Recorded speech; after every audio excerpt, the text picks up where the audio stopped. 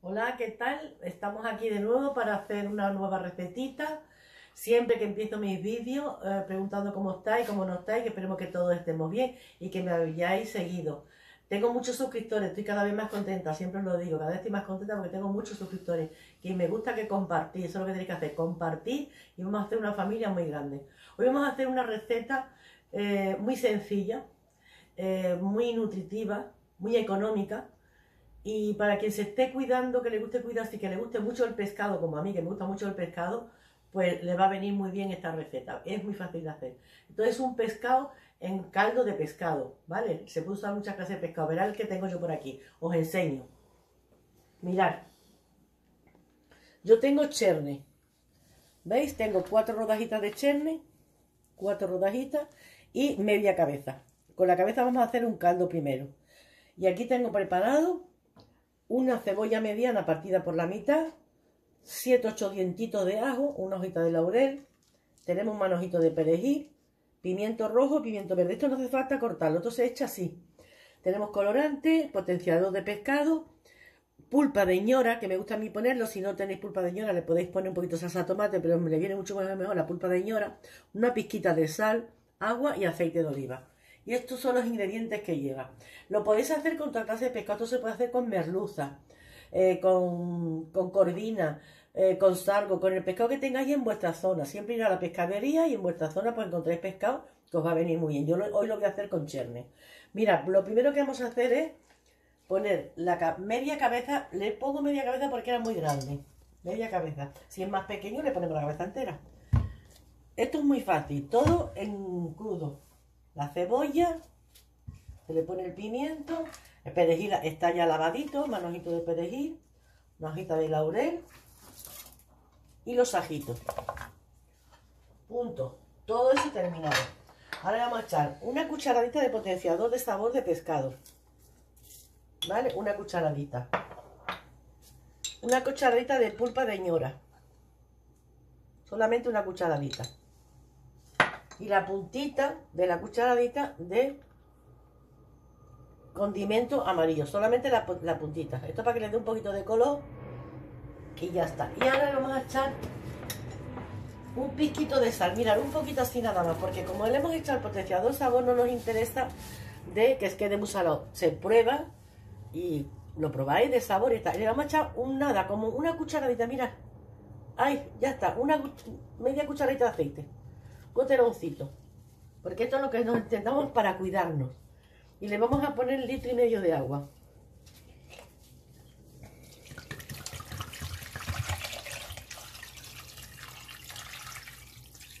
litro y medio de agua. Esto ahora lo que tenemos que hacer es ponerlo, encender el fuego y ponerlo al máximo. Cuando empieza a hervir, lo bajamos y lo dejamos a media cocción para que se cueza lentamente. Y tenemos que esperar a que todas las verduras, hasta esto tarda una hora. tenemos que dejarlo una hora que toda la verdura se cuece bien cocidita. Y, ahora lo único que nos queda es esperar antes de echar el pescado. El pescado lo dejamos aquí reservado para cuando esto esté. Muy fácil de hacer. ¿Vale? Pues vamos a esperar que esto empiece a cocer. Bueno, pues esto ya está. Mirad por aquí, ¿verdad? Que cocidita está la verdura. Mirad, la verdura está toda cocida. ¿La veis? Está la cabecita cocida y todo cocida. Ahora en este mismo caldo veis que ha reducido casi la mitad, el litro y medio de agua que le hemos echado. Y queda un caldo muy buen espesito. Pues aquí vamos a ir echando el pescado. Vamos introduciéndolo. Como veis, hemos puesto guantes porque vamos a poner las cosas con las manos. Lo vamos introduciendo el pescado. Así. Ahí. Y esto lo vamos a dejar un palito para moverlo un poquito. Como vemos así un poquito, para que entre él bien tranquilamente, le ponemos la tapita y esto lo vamos a dejar cocer 5 minutos. En 5 minutos está listo. Y como veis, lo fácil que ha sido y luego lo emplataremos, ya está. Esto ya no tiene más nada que hacer. Buenísimo. Espero que os guste. Bueno, pues esto ya está. ¿Veis? Vamos a apagar el fuego y veis el, color que ha quedado el caldo, el espesor que tiene el caldo, que está espesito. Y esto, eh, ahora vamos a comernos el pescado. Yo he hecho como para cuatro personas. Pero este caldo se cuela y se puede echar unos fideos, se le puede echar un arroz. Y esto está buenísimo, tiene eh, toda la sustancia de las verduras y de la cabeza del pescado más el pescado. Un caldo de pescado. Esto se llama caldo de pescado.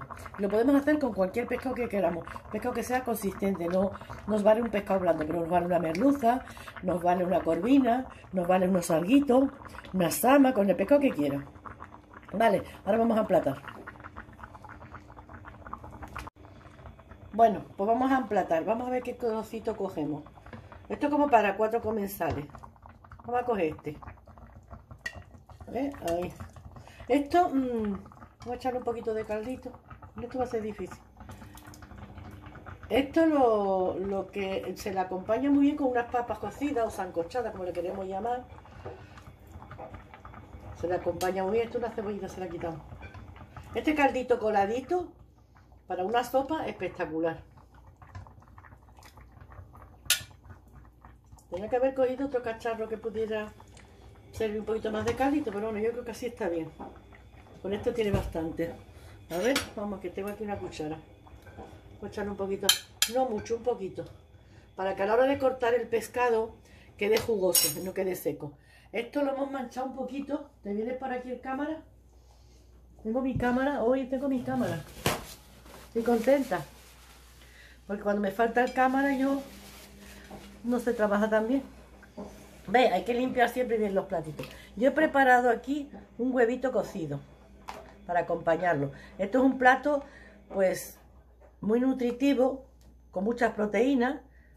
Ahí a poner su ramita de perejil. Con muchas proteínas y para cuidarse, porque esto, este plato se lo come una persona y queda súper satisfecha. Lo podemos acompañar con unas papitas cocidas, eso ya a gusto que ya lo he dicho antes, o sea, colchaditas, unas papitas arrugadas, que en otros vídeos os he enseñado cómo se hacen las papitas arrugadas. Para este pescado unas papitas arrugadas le salen buenísimas, le quedan buenísimas. ¿Vale? Con un poquito de mojo verde también. Pero yo creo que así os va a quedar muy bien. De hacerlo, que me lo vais a agradecer. Me vais a agradecer este, este plato que os he hecho. Porque os va a gustar mucho. Y bueno, pues ya para no, no aburriros mucho, porque soy muy pesada y os aburro, pues nada, deciros que que me gusta mucho estar compartir con vosotros, me encanta compartir con todos vosotros. A mí me llevan, llenan de mucha satisfacción el hacer esta receta y os poder hacer recetas. Seguir suscribiéndose, compartir, compartir con familiares para que ellos sigan compartiendo y preguntarme, que yo contesto lo que me preguntéis, ¿vale? Cualquier cosa. Y si queréis hacer una cosita, decídmela que os la hago. ¿De acuerdo? Pues nada, no me voy a dilatar más y un saludo muy grande. Hasta el próximo vídeo. Muchos besos. Mucho beso.